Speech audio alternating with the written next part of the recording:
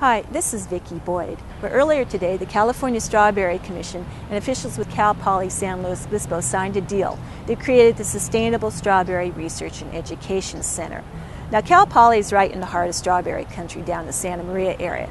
But the Strawberry Commission also has been working with researchers from the University of California, both up at Watsonville and down at their Orange Coast Research Station.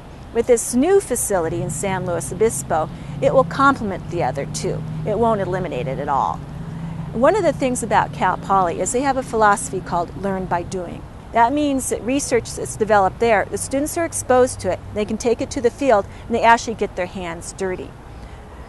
Now, what this will mean too is that students who may not be exposed to agriculture at other institutions are exposed to it at Cal Poly. And maybe they'll figure out that they like it they may like the marketing part of it, or the growing of the crops, or some of the technology involved in it. But that's what has people excited too.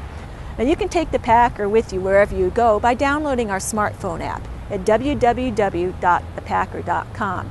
Remember, like us on Facebook and follow us on Twitter.